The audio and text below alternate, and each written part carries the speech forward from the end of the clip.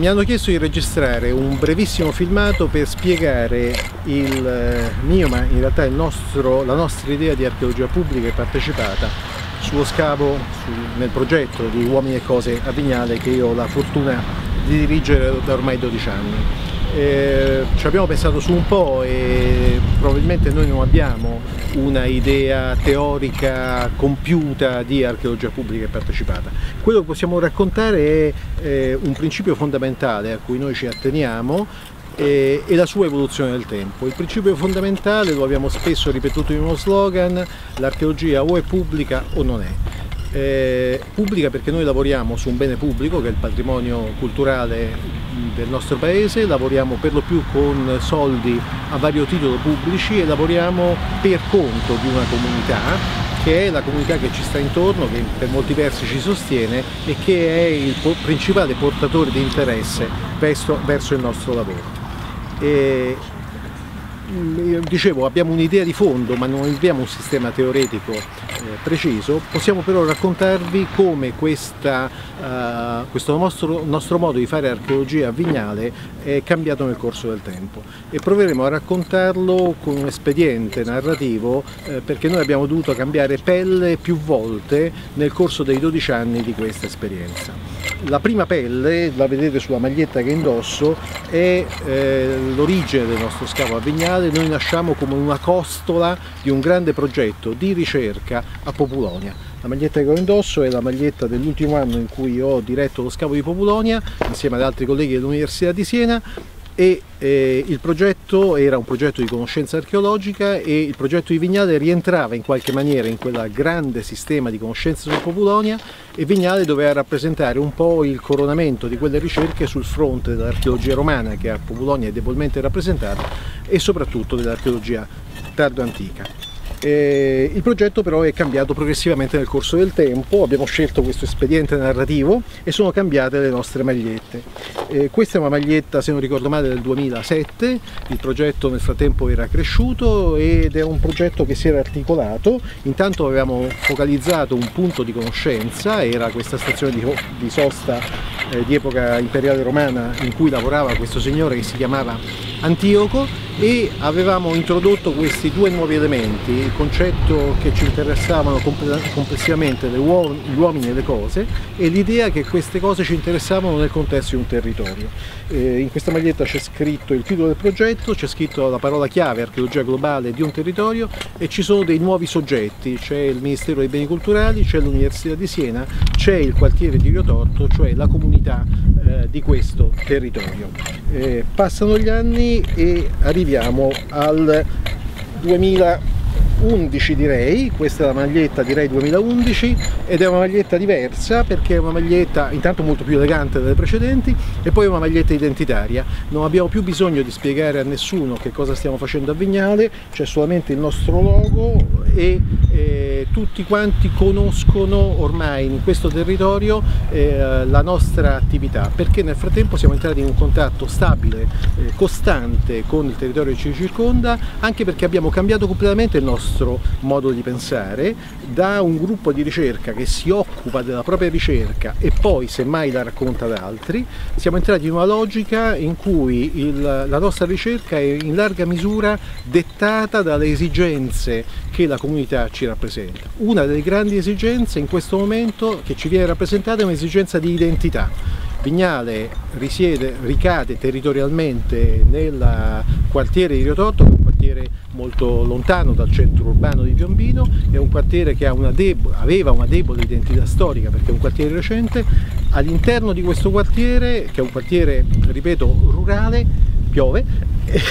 all'interno di questo quartiere il nostro scavo è diventato un importante elemento identitario. Questo è raccontato in qualche maniera in questa maglietta. La maglietta successiva è una maglietta eh, che fa riferimento a uno dei tanti sottoprogetti, si chiama Nano Scavatori e fa riferimento a uno dei tanti progetti che abbiamo portato avanti in questi anni. Eh, il, lavoro, il, nostro lavoro di archeologia pubblica passa essenzialmente in primo luogo in, eh, attraverso il rapporto con le scuole, il rapporto con le scuole del territorio, soprattutto le scuole elementari, dei primi cicli dell'istruzione qui a Piombino, a, a Diotorta, a Piombino. Eh, voi in questo momento vedete il cantiere alle mie spalle vuoto, ci siamo solamente noi che facciamo il nostro lavoro di archeologi, ma eh, per gran parte dei giorni in cui noi siamo aperti il nostro cantiere è frequentatissimo da uh, scuole di diverso genere. All'interno di questo rapporto con le scuole ci sono tanti sottoprogetti diversi, uno di questi sottoprogetti, Nano Scavatori, è un sottoprogetto che abbiamo portato insieme, avanti insieme a una scuola non di territorio ma del nostro territorio di appartenenza, Siena, il liceo, il liceo artistico Duccio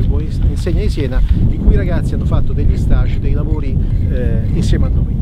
eh, cambia ancora la maglietta e la maglietta è la maglietta versione 2014 perché nel frattempo è successo qualche cosa. È cambiato il logo come vedete perché nel frattempo abbiamo scoperto un clamoroso mosaico tardantico di cui molti avranno sentito parlare. Un pezzo del mosaico è finito sulla nostra maglietta è scomparso il povero Antioco è rimasto in forma di logo solamente eh, il mosaico e però si è chiarito che cosa stiamo facendo. Uomini e Cose Vignale è diventato un progetto di archeologia pubblica condivisa e sostenibile. Un progetto che progressivamente è cresciuto, un progetto che si è stabilizzato, siamo qui da 12 anni ormai, è un progetto che ha fatto della condivisione, della compartecipazione con